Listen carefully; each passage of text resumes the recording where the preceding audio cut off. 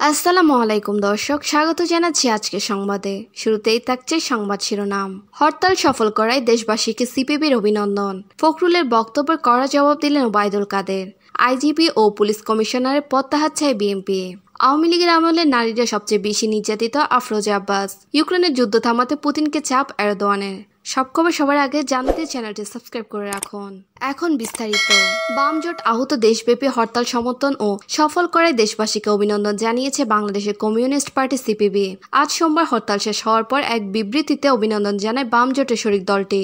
দ্রব্যমূল্য বৃদ্ধির প্রতিবাদে আজ সকাল ছয়টা থেকে দুপুর বারোটা পর্যন্ত আদাবেলা হরতাল ডাকে বাম জোট বিবৃতিতে সিপিবির সভাপতি মোহাম্মদ শাহ আলম এবং সাধারণ সম্পাদক রহিন হোসেন প্রিন্স বলেন, দেশের অধিকাংশ মানুষের আয় সীমিত হয়ে যাওয়ার সময় দ্রব্যমূল্য নিয়ন্ত্রণে ব্যর্থ হয়েছে সরকার। বরং সরকার ব্যবসায়ী সিন্ডিকেটের স্বার্থ রক্ষা করে চলছে। এমনকি দেশের মানুষের কথা উপেক্ষা করে অযৌক্তিকভাবে গ্যাস, বিদ্যুৎ, পানির দাম বাড়ানোর পায়তারা করছে। এর বিরুদ্ধে হরতালের মধ্য দিয়ে মানুষ তাদের রায় ঘোষণা করেছে। বিবৃতিতে বলা হয়, হরতালের আগে বরিশাল, চট্টগ্রাম, সিরাজগঞ্জ, খুলনা, নারায়ণগঞ্জ, গাইবান্ধা, ঠাকুরগাঁও সহ ঢাকার বিভিন্ন স্থানে হামলা হয়েছে। বয়ের পরিবেশ সৃষ্টি করা হয়েছে। বিভিন্ন জেলায় মাইক ভাড়া দিতে নিষেধ করা হয়েছে। গাইবান্ধা, ঠাকুরগাঁও, খুলনা ও ঢাকায় চব্বিশ জনকে গ্রেফতার করা হয়েছে। ঢাকায় পল্টন মোড়, মোহাম্মদপুর, মিরপুর এবং নারায়ণগঞ্জ সহ বিভিন্ন স্থানে হামলায় প্রায় অর্ধ শতাধিক আহত হয়েছে। এর আগে সোমবার আঠাইশ মার্চ সকাল ছয়টা থেকে কর্মীরা পল্টন মোড়ে অবস্থান নিয়ে সড়ক অবরোধ করে রাখে। তারা পল্টনের রাস্তার মাঝে ব্যারিকেড দিয়ে অবস্থান নেন। এতে পল্টন মোড়ে চারদিক থেকে যান চলাচল বন্ধ হয়ে যায়। পরবর্তী সময়ে পুলিশ এসে ব্যারিকেড তুলে নেয়। সেখানে রয়েছে অতিরিক্ত পুলিশ। বিএনপি ও বাম গণতান্ত্রিক জোটের এ হরতাল সমর্থন জানিয়েছে। এদিকে সকালে রাজধানীর শাহবাগে হরতালের সমর্থনে রাস্তায় টায়ার জ্বালিয়ে অবরোধ করেছেন বাম কর্মীরা এছাড়া সারা দেশে হরতালের সমর্থনে বিক্ষোভ অনুষ্ঠিত হয়েছে। আইন শৃঙ্খলা বাহিনী বারো জনকে আটক করেছে। সারা দেশে বিভিন্ন জায়গায় বাম জোটের নেতাকর্মীদের ওপর হামলা হয়েছে বলে সমাবেশে দাবি করেন নেতারা। গণসংহতি আন্দোলনের প্রধান সমন্বয়কারী জোনায় সাকি বলেন, হরতালের সমর্থনে মিরপুর এলাকায় বাম জোটের নেতাকর্মীরা মিছিল বের করেছিলেন। পুলিশ নয় জনকে গ্রেফতার করেছে। এছাড়া সারা দেশে মিছিলে বাধা দেওয়া ও হামলার খবর আসছে বলেও দাবি করেছেন তিনি। বিবৃতিতে দক্ষ ও দুর্নীতিমুক্তভাবে রাষ্ট্রীয় উদ্যোগে নিত্যপণ্যের বাফার স্টক, উৎপাদক ও ক্রেতা সমবায় গড়ে তোলা পর্যাপ্ত ন্যায্য মূল্যের রাসায়নিক চালু ও ব্যবসায়ী সিন্ডিকেট ভাঙার দাবিতে আন্দোলন অব্যাহত রাখতে দেশবাসীর প্রতি আহ্বান জানানো হয়। চলে যাচ্ছি পরবর্তী সংবাদে। স্বাধীনতার পঞ্চাশ বছরে আওয়ামী লীগ যখনই ক্ষমতায় এসেছে, তখনই ইতিহাস বিকৃতি করেছে। বিএনপি মহাসচিবের এমন বক্তব্য করা জবাব দিয়েছেন আওয়ামী লীগ সাধারণ সম্পাদক ওবায়দুল কাদের। তিনি বলেছেন, তার ফখরুলের এই অভিযোগ চরম অসত্য, ভিত্তিহীন এবং পাগলের প্রলাপ ছাড়া আর কিছুই নয়। আওয়ামী লীগের সাধারণ সম্পাদক সোমবার সকালে তার বাসভবনে ব্রিফিং এসব কথা বলেন। ওবায়দুল কাদের বলেন, আওয়ামী লীগ কখনো ইতিহাস বিকৃত করে না, বরং প্রকৃত ইতিহাস জাতির সামনে তুলে ধরে বলে বিএনপি গাত্রদাহের কারণ হয়। তিনি বলেন, বিএনপি নেতারা তাদের চেয়ারপারসন জিয়াকে দেশের প্রথম নারী মুক্তিযোদ্ধা এবং দণ্ডিত পলাতক ভারপ্রাপ্ত চেয়ারম্যান তারেক রহমানকে শিশু মুক্তিযোদ্ধা বানানোর মতো ঘিন্ন অপপ্রয়াস চালিয়ে যাচ্ছে।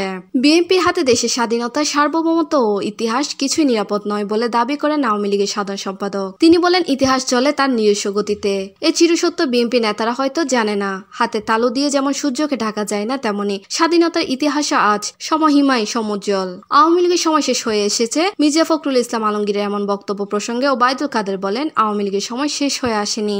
সময় শেষ হয়ে এসেছে বিএনপির অপরাজনীতির। তিনি বলেন, জনগণের আস্থায় এখন আর বিএনপি নেই। জনগণ এখন আর বিশ্বাস করে না হাঁটুপাঙ্গা পরশ্রয়ী বিএনপি এদেশের জন্য ভালো কিছু করতে পারবে। নেতিবাচক রাজনীতির কারণে জনগণ বিএনপি থেকে মুখ ফিরিয়ে নিয়েছে বলেও মন্তব্য ওবায়দুল কাদেরের। আওয়ামী লীগের সাধারণ সম্পাদক মনে করেন, সাম্প্রতিককালে স্থানীয় সরকার নির্বাচন বিএনপিকে জনগণের প্রত্যাখ্যান এবং তাদের আন্দোলনের ডাকে সাড়া না দেওয়ার বিষয়টি আরও পরিষ্কার হয়ে গেছে।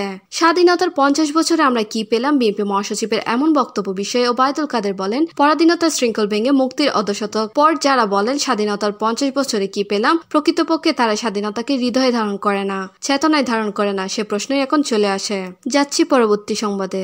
দলীয় প্রধান খালেদা জিয়াকে নিয়ে পুলিশের আইজিপি বেনজির আহমেদ এবং ঢাকা মহানগর পুলিশ কমিশনার মোহাম্মদ শফিকুল ইসলাম যে মন্তব্য করেছেন তার প্রতিবাদ জানিয়ে তাদের প্রত্যাহার দাবি করেছে বিএনপি। সোমবার দুপুরে নয়াপল্টনে দলের কেন্দ্রীয় কার্যালয়ে অনুষ্ঠিত সংবাদ সম্মেলনে বিএনপির সিনিয়র যুগ্ম মহাসচিব রুহুল কবির রিজভি এ দাবি করেন। রিজভি বলেন, জনগণের করের টাকায় প্রজাতন্ত্রের কর্মকর্তারা এভাবে দলীয় ক্যাডারদের মত সাবেক প্রধানমন্ত্রীকে নিয়ে বক্তব্য দিতে পারেন না। অবশ্যই তাদের প্রত্যাহার করতে হবে।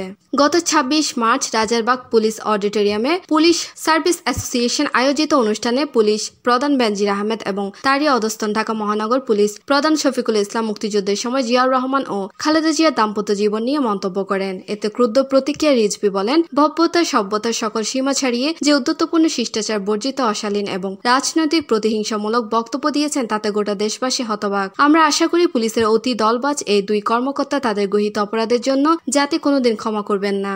ডিএমপি কমিশনার শফিকুল ইসলাম চাকরির মেয়াদ শেষ হয় গত বছর। দু একুশ সালের একুশ অক্টোবর নিয়ম অনুযায়ী শফিকুল ইসলামের মেয়াদ শেষে অবসরোত্তর ছুটি প্রদানের প্রজ্ঞাপন জারি করেছিল স্বরাষ্ট্র মন্ত্রণালয়। পরে তাকে অতিরিক্ত এক বছর মেয়াদে পূর্ণ নিয়োগ দেয় সরকার। তার সমালোচনা করে রিজবি বলেন, প্রায় এক দশকে হয়তো গুম, খুন, অপহরণে পারদর্শী হয়ে ওঠায় বিনা ভোটে সরকার তার সার্ভিস আরও প্রয়োজন মনে করে তাকে এক বছরের জন্য চাকরিতে চুক্তিভিত্তিক নিয়োগ দিয়েছে। সে অতিরিক্ত মেয়াদের এক বছর মেয়াদকালও শেষ হয়ে আসছে, ফলে আবারও চুক্তিভিত্তিক পূর্ণ নিয়োগ লাভের আশায় শেখ হাসিনাকে সন্তুষ্ট করার জন্য সুরুচি ও ভদ্রতার সকল সীমানা অতিক্রম করে দেশনেত্রী বেগম খালেদা জিয়াকে নিয়ে বিবেক বিবেকবর্জিত বক্তব্য দিয়েছেন। পুলিশ প্রধান বেনজির আহমেদের সমালোচনা করে রুহুল কবির রিজভি বলেন রাজারবাগের একই অনুষ্ঠানে পুলিশের আইজিপি বেনজির আহমেদ বাংলা ইংরেজি মিলিয়ে তীব্র রোষ নিয়ে তুচ্ছ তাচ্ছিল্য ভাষায় দেশের অপময় গণতন্ত্রকামী মানুষকে ধমক দিয়েছেন। তাচ্ছিল্য পরে নানা কটু মন্তব্য করেছেন। পাকিস্তান আমলে পাকিস্তানি উদ্দীপ পড়া কর্মকর্তারাও এভাবে গণতন্ত্রকামী মানুষকে বাংলা উর্দু মিলিয়ে ধমক দিতেন।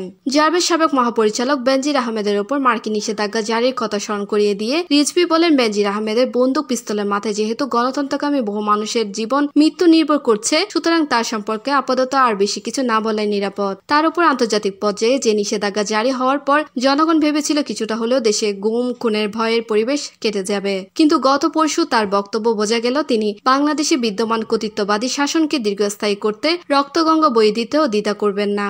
সংবাদ সম্মেলনে অন্যদের মধ্যে বিএনপির ভাইস চেয়ারম্যান আহমেদ আজম খান যুগ্ম মহাসচিব খায়রুল কবির খোকন, স্বেচ্ছাসেবক বিষয়ক সম্পাদক মীর সরাফত আলী সপু, সহ দপ্তর সম্পাদক তাইফুল ইসলাম টিপু, নির্বাহী কমিটির সদস্য আব্দুল সাত্তার পটুয়ারি প্রমুখ উপস্থিত ছিলেন। চলে যাচ্ছি পরবর্তী সংবাদে। বিএনপি সরকার নারীদের সবচেয়ে বেশি মূল্যায়ন করেছে বলে মন্তব্য করেছেন জাতীয়তাবাদী মহিলা দলের সভাপতি আফরোজা আব্বাস। তিনি বলেন, বর্তমান আওয়ামী লীগ সরকারের আমলে নারীরা সবচেয়ে বেশি নির্যাতিত। আমরা এই অবৈধ সরকারের পদত্যাগ চাই। এই অবৈধ সরকারের মায়ের মমতা চাই না। সোমবার আঠাইশ মার্চ দুপুরে পঞ্চগড় কমিউনিটি সেন্টারে অনুষ্ঠিত পঞ্চগড় জেলা মহিলা দলের দ্বিবার্ষিক সম্মেলন প্রধান অতিথির বক্তব্যে তিনি এসব কথা বলেন। আফরোজা আব্বাস বলেন, চারদিকে মানুষ না খেয়ে আছে। আর তার সাধারণ জনগণের কষ্ট উপার্জিত টাকা লুটপাট করে বিদেশে পাচার করছে। আমরা মুক্তি চাই, আমরা গণতন্ত্র চাই, আমরা বাক স্বাধীনতা চাই। আমাদের দেশে আমরা স্বাধীনভাবে বাঁচতে চাই। চলে যাচ্ছি পরবর্তী সংবাদে।